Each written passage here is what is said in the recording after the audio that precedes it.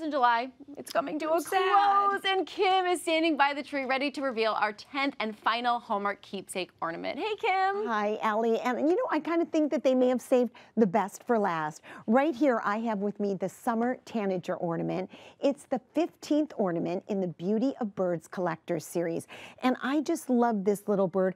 I think it's going to add a little tweet to any tree, if you know what I mean, Allie.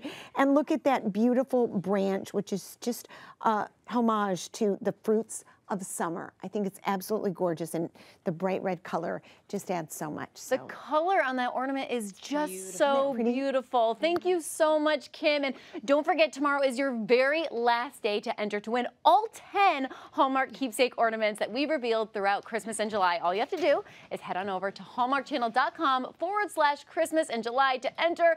Good luck. oh my gosh. They How, were all so beautiful. Oh, I loved them. It'd be so fun to win. Okay.